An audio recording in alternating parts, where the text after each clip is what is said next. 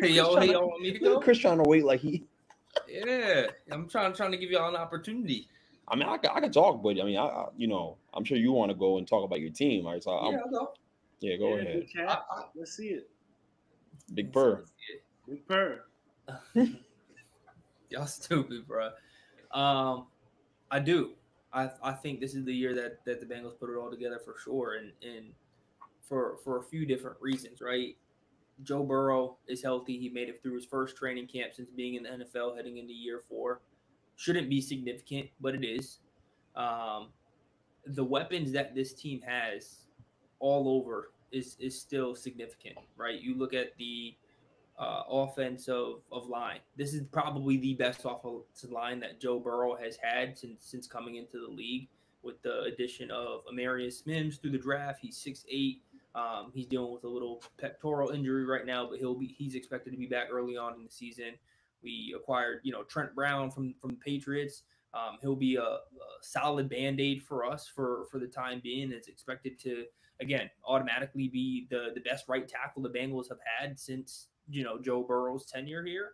Um, and obviously, you know what we have in Orlando Brown Jr., guys like Alex Cappa, Ted Karras, and, and so forth, right? That's just the offensive line. And and I think, you know, it's it's important to, to talk about the offensive line just just given how bad it's been in the past, right? You you go back to that Super Bowl year, the Bengals made it to the Super Bowl with one of the worst offensive lines in the NFL because of how talented Joe Burrow is, because of how talented Tee Higgins and Ja'Marr Chase are, right? So we've seen him get it done, not get it done, but we've seen him take this team to to, to far lengths uh, just based off of his talent or, alone and, and the supporting cast that he has. Um, it's not like we had the best defense that year either, right? But now coming into to this season with a healthy Tee Higgins, a healthy Ja'Marr Chase, which I, I do think that situation is going to work itself out. Jeremy Fowler from ESPN reported a, a few days ago that uh, talks have intensified. I think the frustrating thing with this whole situation, uh, and not to, to get off track, is that we just don't know what these conversations are, right? Not one reporter throughout these past several weeks has has mentioned anything about where these talks are at because no one knows. Ja'Marr's camp's not saying anything, nor are, are the Bengals. So uh, I do think I do think Ja'Marr Ja'Marr plays this year. Um, I don't think he takes this into the regular season. Um, so I think that makes a, a big difference in, in what I'm about to say. But I, I do think the Bengals make a deep playoff run. I'm expecting a, a 13, 14 win season. This is also, and the reason I say that is because this is the easiest schedule Joe Burrow has had since being in the league as well, right? The sixth easiest schedule um, among all the, the 32 teams in, in the league. So I feel really, really good about this season. I, I try not to get my hopes up, but it's hard, man, when when when you look at the defense too and how how they're coming along. We acquired uh, Geno Stone from the Ravens. We all knew, you know, how he came on last year. We talked about him on this podcast, uh, you know, earlier in, in, the year when when he got the pick against the Bengals when, when they played early on in the season, right? Um, you know, he was he was that player to watch out for, and now he's on the Bengals as as our starting safety.